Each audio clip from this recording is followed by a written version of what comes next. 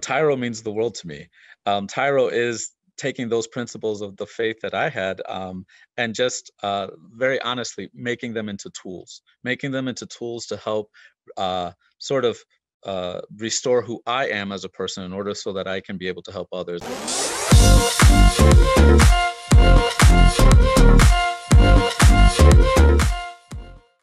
Welcome to Tyro TV. I'm Ron Tijerina, and today we have a special guest for you via Zoom. You know, with this COVID pandemic and everything taking place, you know, we got to adjust, we got to pivot, and that's what life's about. It's about pivoting. So we are so thankful that Irvin Santana, Tyro Irvin Santana, was able to pivot in his busy schedule and take a pause for us today. So welcome, Irvin Santana. Thank you. Thank you for the invite. I really appreciate it.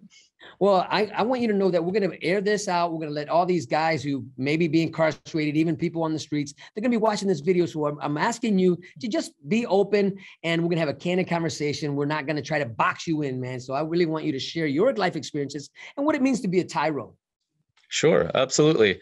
Um, I, well, I guess I'll start with how I heard about Tyro.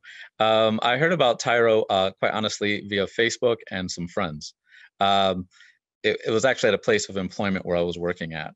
Um, I worked for a, at that time, a construction company that was actually doing um, second chance employment. So we were actually a company that did hire uh, men and women who came out of incarceration, reintegrating into into society, coming back home, and they needed a job. So we were willing to do that. Also do skill sets training. Um, at that time, while I was working there, I very honestly was having a lot of marital issues a lot of problems at home.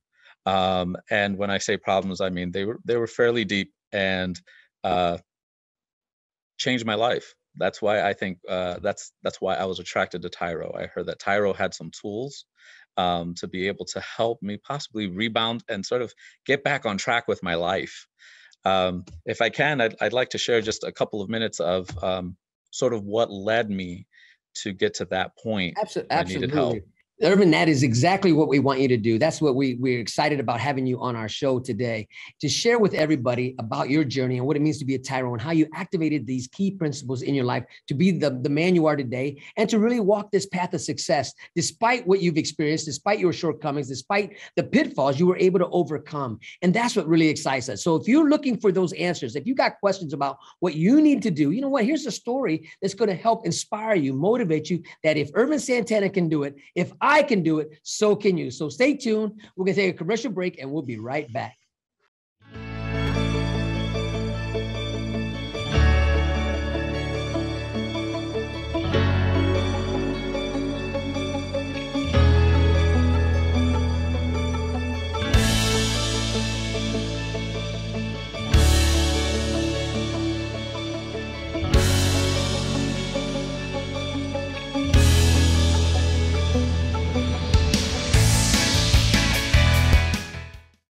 Welcome back to Tyro TV. Today we have a special guest with us, Irvin Santana, and you don't want to miss this. So, so as we get into this, Irvin, let me ask you this. Sure. You know, I know you, gonna we're gonna share your journey, and it's a powerful journey. You know, but there are a lot of guys out there that are experiencing uh, domestic violence, that are experiencing trauma and drama, right?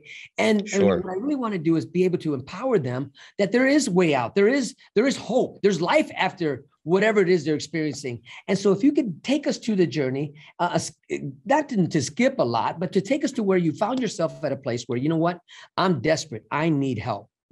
Sure. Um, that place was in a jail cell. That place was uh, in a room with a whole bunch of other men who, quite honestly, were dealing with the very same issue that I was dealing with. And we had all hit rock bottom. Uh, I had personally um, just uh, I had gotten a charge for domestic violence. Uh, my marriage went off kilter, uh, and it led to the point where it became violent, where I let all my emotions, all my hurt, all my pain, all of those kinds of things well up into violence. And I didn't just hit um, uh, a wall; I went through the wall. Um, I mm. punched through the wall and everything that was behind that wall, and I did a lot of damage and so, that so mm-hmm. Irvin, so so what led up you because earlier you mentioned that you know your your marriage was on the rocks and you were you were, sure. You were bringing guys in from from who were coming home from prison into your yes. workplace and you heard about Tyro but you didn't realize that you were going to go through the program when right. you were doing that, right? Right. So I was, you know, I would listen to a lot of the men that would come out of these different uh, kind of reintegration programs, and I would hear their stories. Um, I became really good friends. I still have a lot of good friends uh, through this, and then some of them were mentioning Tyro, and um, I didn't realize that at the time. I didn't think I needed it. I thought I had my act together. I thought I knew what I was doing. I'm I can control what's happening. So I thought, you know, I could control um, where my marriage was going, not realizing that it was already gone. Wow. I thought I could control where my children um, uh, what they were feeling and, and I could be a better father to them later because right now I was working all the time that they understood what my children didn't understand. I thought I was connected with them. We weren't connected at all. My children knew mom and all they knew is this guy who came home from work and would go to sleep and then go do another 12 hour, 16 hour shift. So when it so, finally came to a head, when the when mm-hmm. they put enough pressure on that pipe and it finally blew up, what happened? Um, well, my spouse was looking for a partner and I was not there. So she looked elsewhere. Mm-hmm. And in in in the process, um, I of course got upset about it. I was I was mad about it. It ended up where we argued. I ended up um, striking my wife, hitting her. Um, and all of those all of those feelings of control and thinking that I knew what I was doing and thinking that I knew what it was to be a husband and a father it just that whole facade fell apart mm. at that moment and I knew I had to get help. I just didn't know where. And so there's a lot of um, there's a lot of books and materials out there on being a good father and husband but I didn't look in that direction. I thought I already knew Right. And in reality, I was just doing a lot of guesswork. In reality, I was just trying to to keep the sinking boat from sinking. Mm, uh, and sure, a lot of trial and error. And when I was in that uh, when I was in that cell and I was sitting there and I was thinking and reviewing over my life, I knew I just don't know what I'm doing. I need to ask for help. I need to ask for help. And you know what's funny is I would always advise the guys at work if you need help, if you need to learn a skill set, something, ask. Mm. And yet, I myself, with the most important project, with the most important thing of, in my life, which was my family and my marriage, I did not ask for help. So you know, I know when I met you, Irvin, when you when you reached out to us, and I knew there was something about you that you were hungry. You yes. were hungry for something new, and yes. you were open, and you were and you were you were teachable. So yes. what I hear you saying is in the beginning you weren't teachable, but when you got when you hit this rock bottom, you humbled yourself and you said, you know what, I need to learn these skills. I don't even know what the heck I'm doing. I need somebody to be my mentor, somebody to be my teacher, somebody to teach me how to be a husband, how to be a, a man worth following, how to be a father. Yes. And that and that's key.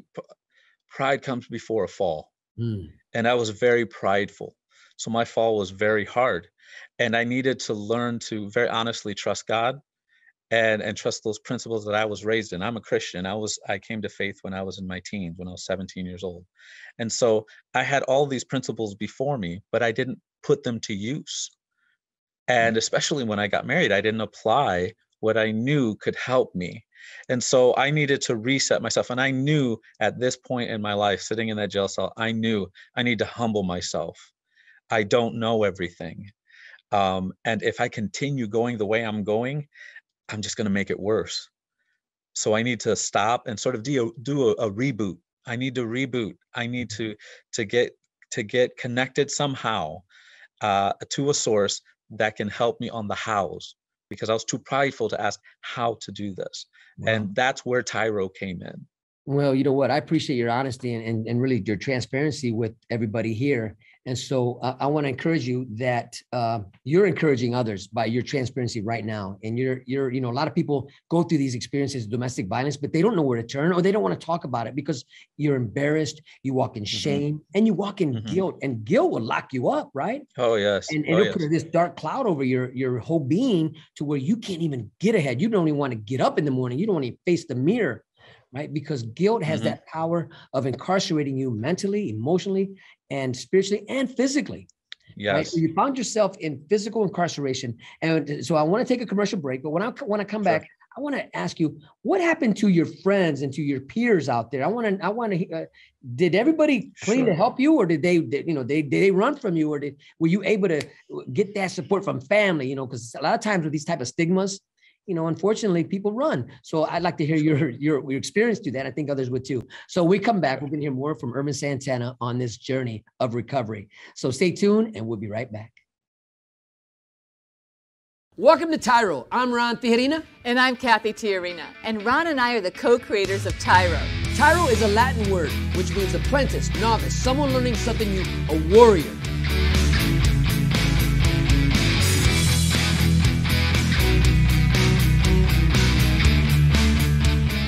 Your job isn't to extract value from your friends, your family, or your community. Your job is to create value, to create value in every situation that you find yourself in, to help others become more successful. So, what I want you to do is I want you to list three things that you add to your friendships, to your family, and to your community.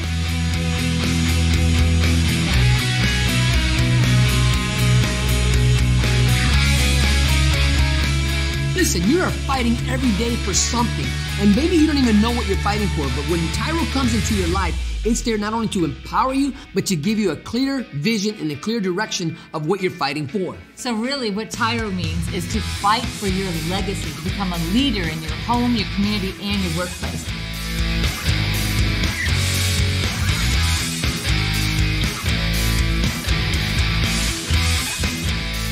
Hello, guys, I'm Tremaine Hall lead coach of the Tyro Fit Skills program. And I'm Brandon Tijerina, the Senior Director of Tyro Support Services. We've partnered together to bring you such an amazing workout program that's going to take you to the next level.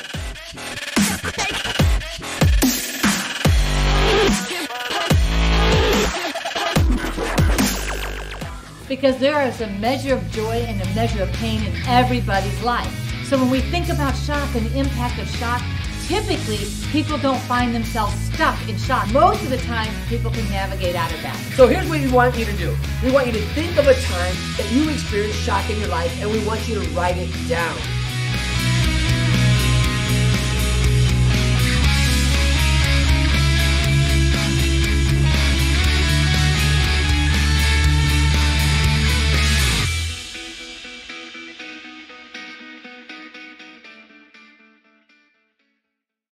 Welcome back to Tyro TV. Today we have a special guest, and really a good friend of mine by the name of Irvin Santana.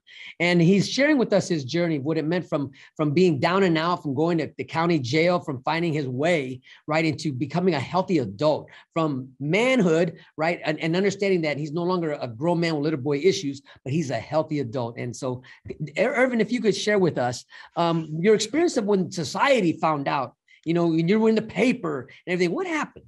How did that, how did you deal sure. with that? Well, the the the first thing that I realized was that um, in life we have a lot of acquaintances, we have a lot of friends. We I didn't realize the multiplicity factor of my influence on others um, throughout my life. So when I did commit um, this act of abuse against my family, um, and it was on the radio, you know, it mm. was in the newspaper. Um, I lost many friends. I did lose many friends. Um, uh, and it was at that time it was i think it was just due to um, non-communicate no communication whatsoever with me. Um, and then and then secondly um, i did learn that there there were people in my sphere in my world that were willing to come alongside me and and to help me um, to to heal and to get back on track with my life and also to help me to help my family heal. Because the biggest thing for me was it was still i still believe it's my responsibility as a father and even as an ex-husband to continue to help um, bring a healthier lifestyle and, and, way of living to my family and to my um, to my ex-wife and her partner whom we're friends now with but i did at the time um, for about a year or so there were quite a few friends that were hesitant to approach me um, some that are no longer friends, uh, regrettably. Um, so, and um, some who came alongside. So, one of the things that I hear you saying is that through your journey, when you had to deal with the reality of it, that you dealt with with with the guilt, but you also owned it. And I yes. think by owning it, which we learn in Tyro, is to own our story, is that now the healing can take place once you begin to own your journey, or, or own the mess that you created, right? Yes. And yes. not blame others. Yes, and that and that also deals with you know it helped me to deal with depression and um, this self victimization mentality you know of uh, you know woe is me. There there was no woe is, is me to be very honest. It was I caused this situation. It's my responsibility to help heal it and bring and bring new life. Um, my children, for instance, it's my responsibility to teach them how to be resilient. And you know I have a daughter, you know, and she's a teenager you know so the way i treat her mother is vitally important for her to be able to see how men should treat women you know and and how, how partners should treat each other in relationships i have a son it is my responsibility to show my son that as a man i failed and this is how you can correct this is how the direction you you i, I needed to go in in order to show him how to be a man um, and how to treat others because it's important that our, our children understand healthy relationships. And I didn't have a healthy relationship, so I wanted him to know what that was. So the legacy that you were building was was yes. crumbling, but now the yes. legacy that you are building a build a, on a solid foundation. So even yes. even when you you lost your reputation, when you destroyed what you thought you had built, but now mm-hmm. you're rebuilding a new reputation. You're reinventing yourself. You know, that's one of the things yes. you learn in Tyro, right? You recognize yes. the situation, right? And you were able to re- start renewing the way you think about it, right? Then you began to rebuild. Then you reinvented mm-hmm. yourself. And now, Irvin, what I'm really excited about how you're reinvesting back into the community, how people actually have, they know your story. Because one thing I, I love sure. about you, you, Irvin, you don't keep it to yourself. You tell people, listen, yes. I'm not successful today overnight. This was not an overnight success. We want to share right. also about your journey where you're at today, because I'm really proud of you, you, Irvin. I'm proud of the fact that you owned your story, that you were you weren't willing to let it define who you are, but you were willing to, you know what, own it, look at it, learn from it, and grow from it. And now you teach others. Now you empower others to own their story and to not let it define them, but let them qualify them for something greater for the future. All right. Yes. So, so Irvin, let me ask you this one question with your relationship with your kids and the what you're building now how is it compared to when you were at home with your ex-wife to what it is today um, it's completely different um, the dynamics are completely different um, the transparency for one with my children is amazing. Um, i am very close to my children. My children are very close to me. Um, anyone that that that knew me before would always see me gone. I was always gone. Um, and now, uh, whenever anyone sees me, they see me with one of my children. I, everything everything that I try to do, I try to include my children in. I want them to be a part of it because I want them to be a part of my life, and I want to be a part of theirs. You know, um, I love my children very much, and I I want them to have um, the success in life that I that I dream of and that I'm aspiring to. So when you know I go out to to work out, I take my son with me you know when uh, i'm working on um, uh, uh, i'm studying right now online so when i'm working on my schoolwork i have my daughter working on her schoolwork with me as well wonderful, wonderful. you know we we we take many vacations together um, i i have uh, been able to um, uh, be able to share my story with others in different in different um, organizations as well. So there's an organization in Defiance called Children's Lantern, and I was able to share um, my story as well with Children's Lantern. I'm able to share at different church and, and uh, small Bible study groups, things of that nature, to let people know that you know that uh, incidences like this that happened in my life don't have to define my life, but I can take the lessons that I learn and build on those lessons and, and and lead myself into a different direction than I was going. That's wonderful, man. That's what I'm talking about. I know personally, we've all met your family, we met your your children, and to see them inspire and grow has just been an amazing journey to watch them be, yeah. become healthy people. But listen, we come back, we got to take a quick commercial break. When we come back, um, we're going to talk about Irvin Santana's journey, where he's at right now, and the success that he's been able to implement despite his shortcomings, despite what happened, he didn't let it define him. That's key to each and every one of our journeys. We all have issues, we all go through situations, but how do we conquer it? How do we overcome it? And then how do we empower others based upon what we experience? So we come back, we're going to let Irvin tell us where he's at now in his journey. He mentioned school, so we want to look deep into that. It's okay, what are you doing? What are you studying? All right, so stay tuned and we'll be right back.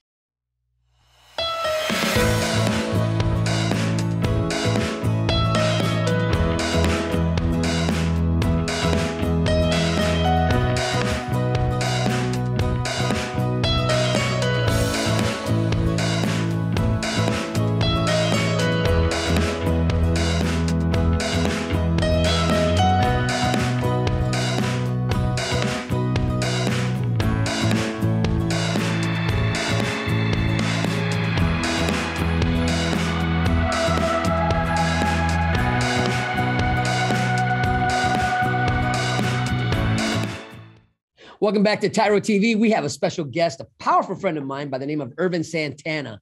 And, and Irvin, I want to ask you a question. You know, we've heard your journey, but now let's talk about Tyro, how it's empowered you to be the successful man that you are today, the father that you are today, the ex husband. You're successful ex husband. Can't say that about many people, right? we hope we can. But tell us about Tyro and, and what it means to you. Sure. Um, Tyro means the world to me. Um, Tyro is taking those principles of the faith that I had um, and just uh, very honestly making them into tools, making them into tools to help uh, sort of uh, restore who I am as a person in order so that I can be able to help others. I have a personal motto, which is I give what who I am. So who I am is what I am offering the world is what i'm offering my children. So i have to build myself up. I have to be a, a, a healthy functioning father friend son uh, a church member in order to be able to give back um, something uh, healthy to that community. If i'm broken if i'm tore down if i'm beat up um, then that's what i have to give. And mm. so my previous marriage uh, or my first marriage and, my previous uh, what i call my previous life um, I was that broken person. So that's all I could give. But mm. now Tyro has given me a toolbox of tools that I can use that will help me to uh, become a better me, a healthier me, and in turn also be able to help uh, strengthen my family and those around me. And so some of the tools that I've learned from Tyro, one of them, the biggest one, especially we just finished speaking about um, people being there, who was there and who wasn't, you know, um, uh, after my uh, domestic case. And that was, um, I learned that I had also some haters. And so I had to learn how do I deal with these haters. And there's an acronym in, in Tyro that we have for haters, which is having anger towards everyone reaching success. And I realized I could not take personal their anger. I could not adopt their anger at me.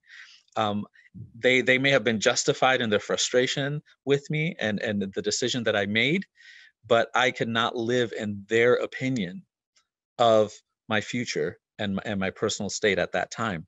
So one of the things I learned from Ty, Tyro is, is how to deal with haters. Uh, and, and part of that is dealing with my sphere of influence. And in Tyro, we learn who is around us, who are who are the people we keep close to us, and who are those that we sort of keep at arm's length.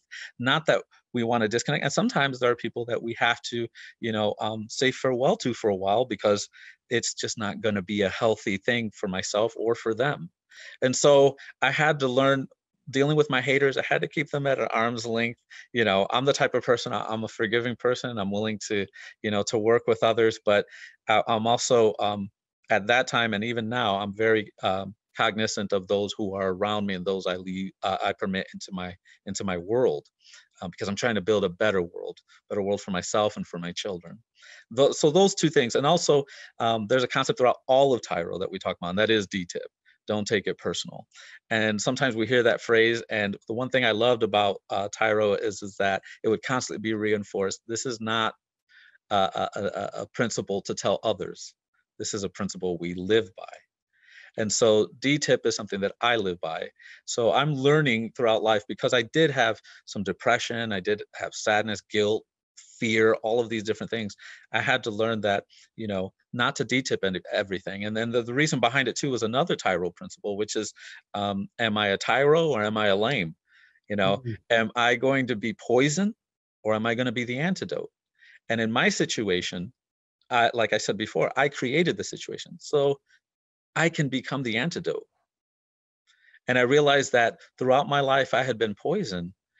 And here I have an opportunity now to change that and become the antidote. So applying some of these principles and these teachings from Tyro, um, these tools, and starting to use them in my life. And I use them on a weekly basis. I review myself every week about my life, where I'm going, my connectedness with my children, how I treat my ex-wife, and how I treat her partner, for that matter, because he and I have become very good friends. So you know, I I want to be able to be in a position where I help bring uh, a very good lifestyle, healthy lifestyle, successful family lifestyle to uh, my family and to those around me. And Tyro has given me those tools to do that. Well, that sounds amazing. I really appreciate you uh, expounding on the principles that you have learned and that you have able to ignite and yes. take it to a new level in your life. And you're right, this takes a daily walk, a daily examination yeah. of one another. So listen, we come back, we're gonna wrap all this up. So uh, we're gonna get let Irvin give his last word to you because I really want him to share. If there's anything, Irvin, think about this. If there's anything you can leave with the people that are, are watching this, that's what I want you to do. Expound something, give them something that that will empower them to see the next level in their life. So stay tuned, and we'll be right back. I'm your coach, Tremaine Hall. We're looking forward to getting you to the next level in where you want to be in fitness. Our whole method is to make you mentally tough and also physically strong. We're gonna start with dynamic warm up, lower core, upper body, and also full body blast. Get ready to take your fitness to the next level. Tyro Fit and Stenos. Welcome back to Tyro TV. Today we have a guest, Irvin Santana, with us, and we have been having a great time listening to his story and his journey. Irvin, if there's anything that you could leave for the viewers, what would that be? And, and just take a few minutes and just really uh, drop those nuggets down that will help empower and inspire others. Sure. Um, first thing I guess I would say uh, is forgive yourself. Uh, in your forgiveness, you're going to find freedom. And I, I truly believe that when you forgive yourself, you're permitting yourself to let go of hurt, pain, regrets that you may have, um, and permitting yourself to be able to move on. Uh, so forgive yourself. Secondly, is try to reestablish connections and relationships uh, uh, with others, maybe who were involved in your situation. Um, be able to say, "I'm sorry," and forgive me. You know, because as you forgive yourself, you're also going to want to permit someone else to be able to release forgiveness into your life as well and um, to ask for forgiveness from others if you've done something wrong. It's hard to do. It's it's it's it's an issue of of uh, of pride to be very honest. And uh, like i said before you know pride became came before my fall. And so the best thing to do is is in order to be able to find healing for your life and and restructure your life it's good to go ahead and to to try to at least apologize and say i'm sorry to the one that was affected by what you did. Uh, i did. Um, it took some time for the person to, to respond to that um, and i gave them that time. They they deserve that time. Uh, thirdly um, ron i i'm into co-parenting. I believe in co-parenting. I believe in in working uh, with your with my ex. Um, i was married for over 20 years. Mm-hmm. So, you know, um, we work together well as parents. And that's one thing that I can say about my ex today is that she's an excellent parent. And so um, I speak highly of her. My, my daughter recently um, uh, in May is going to spend time in the summer and um, with has been spending time with her mom this summer and is planning on moving in with her mom. So during that time, uh, mom didn't have all of the different things at home that that she may have needed for a ride. We worked as a team, went and got some furniture, went and got some things, and moved moved my daughter in and moved her in, and also helping the family out, you know, and helping um, that home because what I would want for my home, I would want for my ex-wife's home as well. They see a, a mom who's healthy and strong and doing well, um, I'd rather my children grow up with a mother like that than to see uh, parents who are bitter and hurt and struggling. Mm-hmm. The last thing I want to do is to throw my children into poverty. And if if if there's anything I say today is uh, think about the legacy you are leaving. You want to leave your children better off than when you arrived here on planet Earth, you know. You know, Irvin, that has been a great, great action plan, call to action. And and I want to encourage everybody who took time to watch this video today, take some notes, go back, rewind this video, watch it again, because there's a lot of nuggets that that Irvin has dropped to us to really help us. And it's inspired me to become a better dad. You know, we, I'm always working to be a better dad, a better husband. You know, we want what we want something better for our kids, right? Well, Irvin, I really appreciate you taking the time to be with us today, no and and I appreciate everybody on on the on, that's watching this to allow us to be part of your journey. And as we end, like always, always remember, we are rooting for you.